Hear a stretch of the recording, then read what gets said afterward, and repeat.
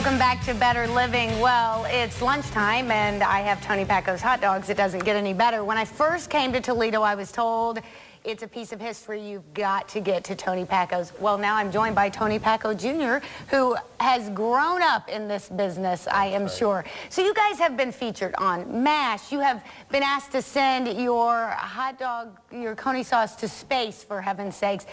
You are history. Tell me what started Tony Packo's. Well, it started in 1932 by my parents, Tony and Rose. And all, a number of my family members, my uncles, were in that business as well. But it, it really was a, a saloon slash bar that served food. And the food happened to be very good. And it was from the Hungarian origins. And since then, uh, many years, we've developed a lot of different products with the same recipes, this continued the same quality, and it's grown into uh, quite an institution.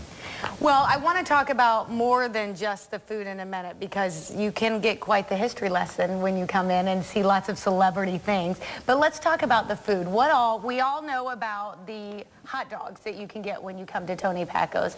Ooh, these have been these are cold. They yes. just come out of the just, refrigerator. Just of the and just for the record, they're going straight to my office um, when we leave here. How can I keep them cold all day? I'm oh. going to have to think about that. Yeah, yeah. Because if I put them in the refrigerator, someone will steal them. So um, let's, you know you can get hot dogs, but that's not all you can get at Tony Packo's. Let's talk about all the different food items that you guys offer. Well, we, there's a number of different items that we offer. Um, stuffed cabbage, which is mm. a traditional Hungarian dish. Chicken paprikash, which again is the same, but there's probably more served in the United States of that than there is in Hungary because it's that familiar. And a lot of the food that has evolved with our recipes are chili, the soups that we have are very traditional, and we're able to do that by uh, centralizing our kitchen area and having one location, mm. and it, that is the consistency that people want and would like is to have the same kind of taste that they've always been associated with over a number of years. And I, I really have to say that it, the other part of the business that is really something to speak to our staff is the amount of years of the loyalty of, of the employees and the de dedication. Without them, there wouldn't be a Tony Packo's. Well, and you do have people that have been there for a long time, mm -hmm. so it it's friendly when I come in. I'm going to see the same people that I saw uh, two weeks ago or a year ago. It's going to be the same people waiting on me. Exactly, and that, that, for sure, that has been the the case all, all along. It's the people coming to Toledo, uh, or I'm, I'm, sorry, the people that live in Toledo know the staff, and they mm -hmm. come mm-hmm. not just for the food and for the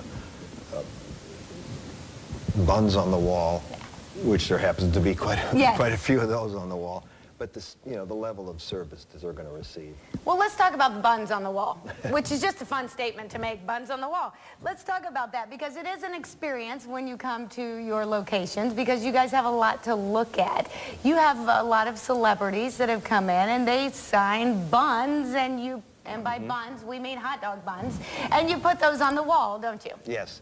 They're, well, now they're encased in plastic, but they were in the beginning of a real bun we realized very shortly that that's not good. Yes. And so we had a gentleman make them in the shape of that, and they, uh, you know, hold up for quite a long time. But we've had somewhere in the vicinity of 4,000 buns that have been signed by different celebrities over the years, presidents, prime ministers, um, actors, and as of late, the That's most recent I was just going to ask what this is.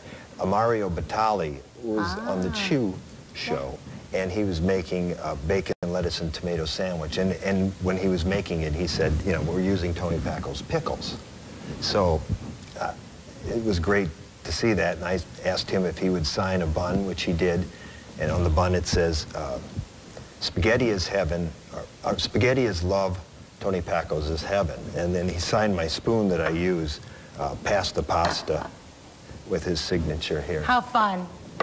It is an experience for sure. Let's talk about all the um, locations that you have, mm -hmm. first of all, here in our area. We have one in the original location yes. in East Toledo. Downtown, across the street from the Mud Hens, Packo's at the park.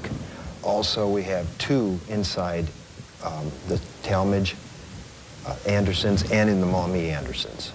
And then this time of year especially, people can do catering. You Yes. do catering for parties, holiday parties, birthday parties, whatever they would like. Yes, we have catering that we- we started about 10 years ago, and it, it's still growing. That we have parties of as small as 15, as large as 5,000. You know, so we can fit any size, any place, anywhere, at any price. Well, Tony Packo's, it is a Toledo and Northwest Ohio institution, and it's a lot of fun. It is an experience for sure, and the food is fantastic. So check out one of the Tony Packo locations today and call them for your next party because what better? Hot dogs, pickles, coney sauce, all the other stuff for your next party. That'd a great holiday. Yes. Who needs turkey on Thanksgiving? We'll be right back on Better Living.